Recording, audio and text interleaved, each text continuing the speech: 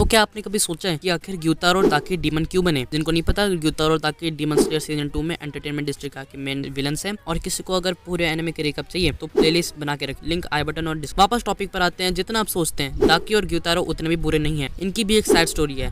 तो इसलिए मैं लेके आया हूँ आज live story of upper moon six Gyutaro and Daki. बिना किसी देरी के शुरू करते हैं। लेकिन हाँ वीडियो को लास्ट तक देखना। तो सौ से भी ज़्यादा साल पहले, ग्यूतारो नाम का एक लड़का एंटरटेनमेंट डिस्ट्रिक्ट की लोअर क्लास फैमिली में पैदा होता है। उसके अपीयरेंस की वजह से उसकी मॉम उसे बहुत ज़्यादा मारती थी, जिसकी वजह से उसकी अपीरेंस और भी ज़्यादा खराब हो जाती है। जब ग्यूतारो डिस्ट्रिक्ट की गलियों में घूमता था, तब वहाँ के बच्चे उसके अपीयरेंस का मज़ाक उड़ाकर उस पर पत्थर फेंकते थे। इन सबको ग्यूतारो कुछ न कुछ करके झेल लेता था। फिर कुछ दिनों बाद ग्यूतारो की छोटी बहन बॉन होती है, लेकिन ग्यूतारो के मुकाबले उसकी अपीयरेंस बहुत सुंदर थी। इसकी वजह से डिस्ट्रिक्ट के लोग उससे बहुत अच्छे से बात करते थे। इस वजह से ही उनकी मॉम ग्यूतारो के साथ उसकी छोटी बहन को भी मारती थी। ग्यूतारो की डिस्टर्बिंग अपीयरेंस थी, लेकिन उसकी छोटी बहन की अपीयरेंस उसकी मॉम से ज़्यादा अच्छी सब होने के बाद भी ग्यूतारो उसकी बहन का बहुत ध्यान रखता था। एक दिन उन दोनों की मॉम उमे नाम की बीमारी की वजह से मारी जाती है। और इस सब की वजह से ही उसकी छोटी बहन का नाम उमे पड़ जाता है। ऐसे ना होने की वजह से उनके पास उनका घर भी नहीं रहता जिसकी वजह से उन्हें सड़कों पर रहना पड़ता है। एक स्नोई डे पर उमे ठंड की वजह से काप रही थी, इसलिए यूतारो उसके साथ अपना ब्लैंकेट शेयर करता और प्रॉमिस करते हैं उमे से, वो दोनों जहाँ भी जाएँगे, साथ ही जाएँगे। कुछ साल बीतते हैं और दोनों काम करने लायक बन जाते हैं। उमे के सुंदर होने की वजह से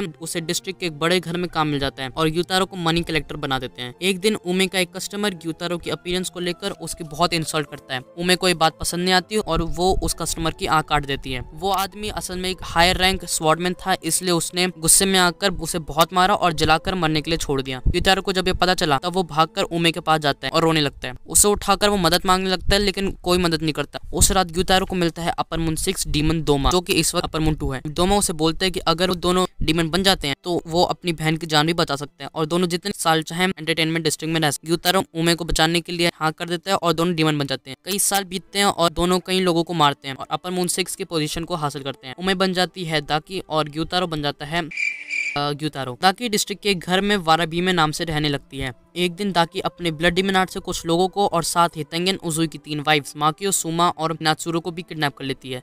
दाकी साथ में जेनित्सु को भी ट्रैप करती है क्योंकि उसे पता चल चुका था कि जेनित्सु असल में एक डीमन स्लेयर है। दाकी को डीमन स्लेयर तांजियो से लड़ते हुए मुजान की मेमोरी में एक आदमी दिखता है। दाकी ये देखकर हैरान हो जाती है कि मुजान भी किसी से डरता है। हाफ़ डीमन नेजुगो से लड़ते हुए साउंड हाशियर तेंगन उजुई दाकी की गर्दन काट देता है। तब उसकी बॉडी के अंदर से निकलता है ग्यूतारो जिसकी blood demon art blood sickle, जिसकी वजह से वो किसी पॉइजन कर सकता था। तब सबको पता चलता है की दाकी और ग्यूतारो को मारने के लिए उन दोनों की गर्दन एक साथ काटनी होगी। कुछ देर बाद तांजिरो हिनोकामिकागुरा से ग्यूतारो की गर्दन और जेनित्सु अपने थंडर ब्रीदिंग और लाइट जितनी स्पीड की वजह से ताकि की गर्दन काट देते हैं। उन दोनों के सर रोल होकर आमने सामने आते हैं और एक दूसरे से लड़ने लगते हैं दोनों। तांजिरो ग्यूतारो के मुँह पकड़कर उसे चुप होने के लिए बोलते हैं। दाकिम को मरते देख ग्यूतारो ज़ोर से उमे नाम चिल्लाता है और फिर उसे अपनी पास लाइफ और उन दोनों को असली नाम याद आते हैं।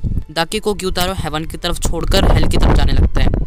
दाकी उसकी पीठ पर चढ़कर उसे याद दिलाती है कि ग्यूतारो ने उसे प्रॉमिस किया था कि वो दोनों जहाँ भी जाएँगे साथ जाएँगे और दोनों हेल की फिल्म्स में गायब हो जाते तो यही खत्म होती है अपर मुंसिक ग्यूतारो और दाकी की लाइफ स्टोरी अगर आपको ये वीडियो पसंद आई हो तो लाइक करो शेयर करो और सब्सक्राइब करो। बाय